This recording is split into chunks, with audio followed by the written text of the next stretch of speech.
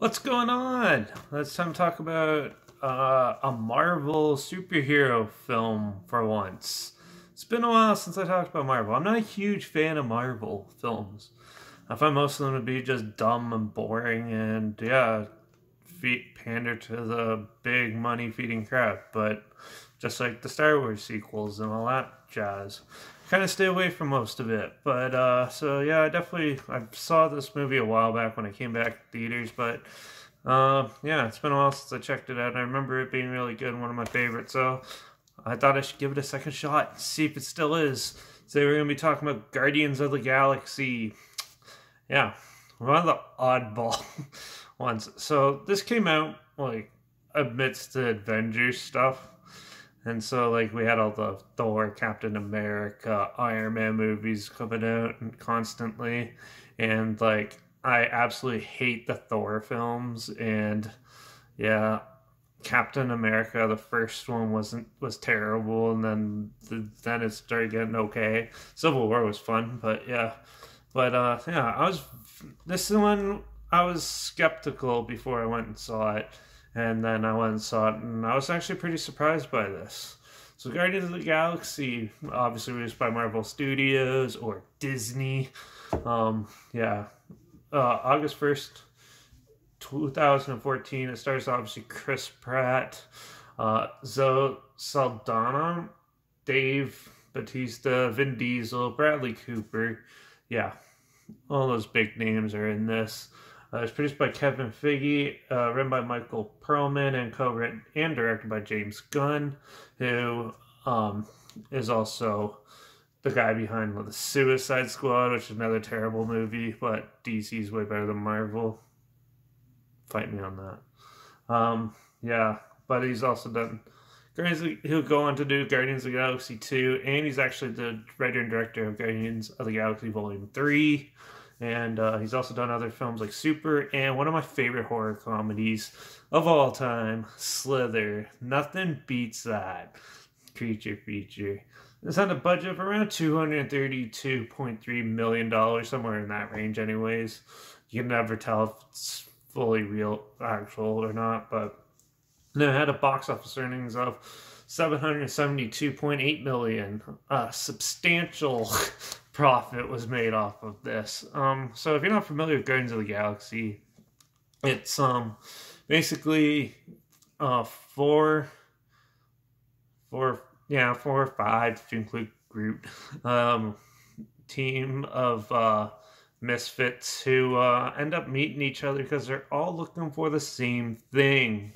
Um, they this orb that has one of the Infinity Stones that Thanos is looking for, and there's some people paying high prices to get it. Uh, this he, the raccoon wants it like right away, Rocket or whatever his name is. Yeah, and then this girl gets hired for like I don't know, it's like four million units or something like that to steal it from someone.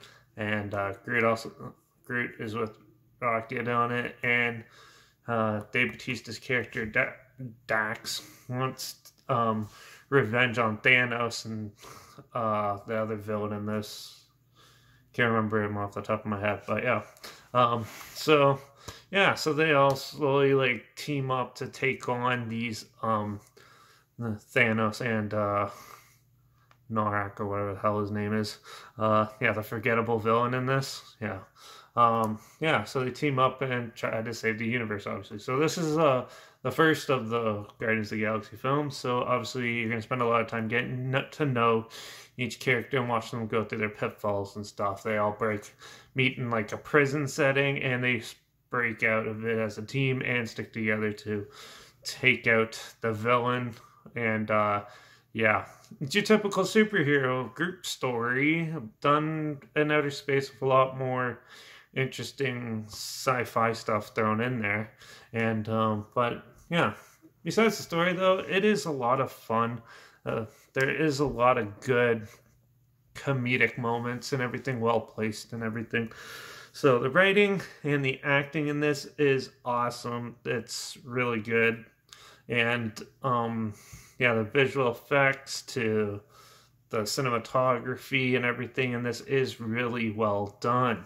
And um, yeah, there's not really much of a problem with this, except for one thing: the villain. He is the most generic villain out there. It's like Ultron. He's like Ultron, basically. Just goes to destroy uh, this one civilization that he wants with the Infinity Stone. He gets all the power, and it's up to these guys to stop him.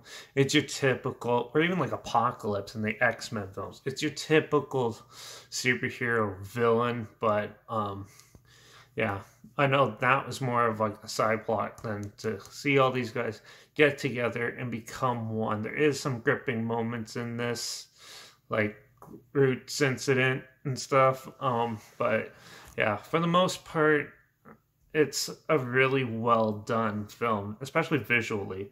And that, and I think this one is probably one of the best of the Marvel films. So the way I view these is like, um, so you get your beginning ones. So it starts up pretty loose, like not so good with like Captain America, Thor, um, yeah, and whoever else, like Iron Man and that. Which Iron Man was the only good beginner film out of all those. I thought the rest of them were crap.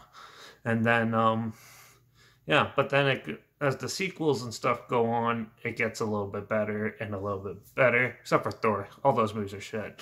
And uh, yeah, so basically, um, then they put out this one because they have the Avengers stuff going on now, and uh, this, and this is when they're at their pinnacle, I think, so far, because like Avengers, Avengers: Age of Ultron, and this mainly Avengers: Age of Ultron and Guardians of the Galaxy, I think, are the two best Marvel movies out there. And after Avengers Endgame was Snorfest, that was um, ended. Uh, I just gave up on it. I'm just like, I'm not watching any of these ever again. So, yeah, it's good to go back and see this film. There's nothing really wrong with it.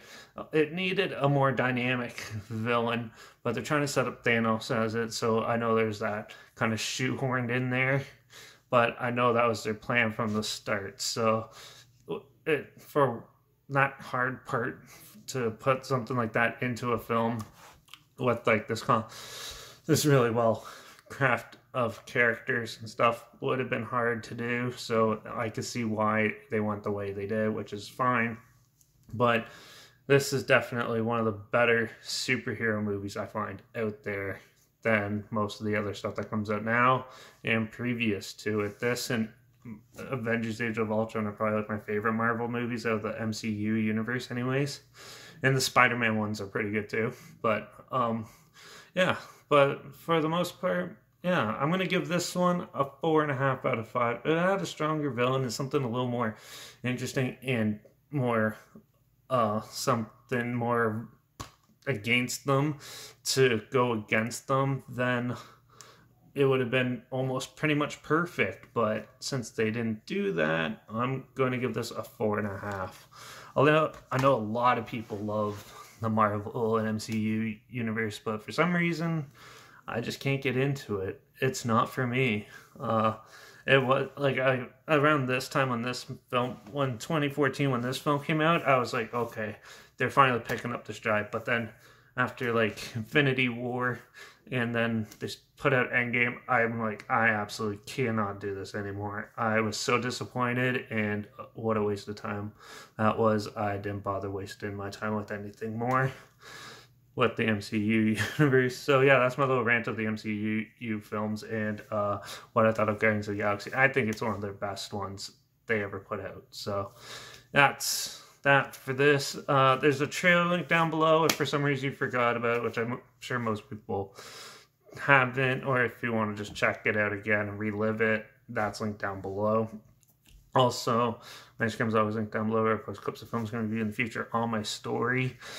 I just add the film title hashtag and the subgenre of film in a hashtag so you're you're aware of it. Um, also, link down below is my letterbox at Derek P Reviews. That's where I post my first star rating right after watching the film. So follow me on one of those two to stay in the loop.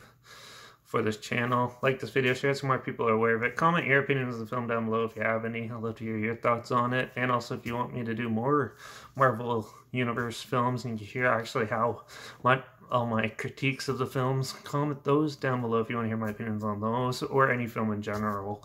Uh, comment them down below. I'll try my best as soon as I can and if I can find it.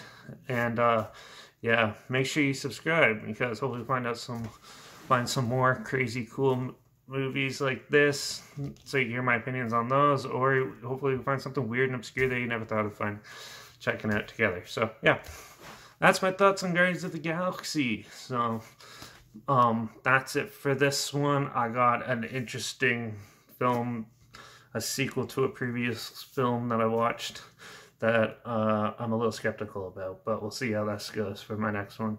But till then, uh, yeah, hopefully you and your ragtag friends have a great one, and I guess I'll see you all in the next review. So, cheers.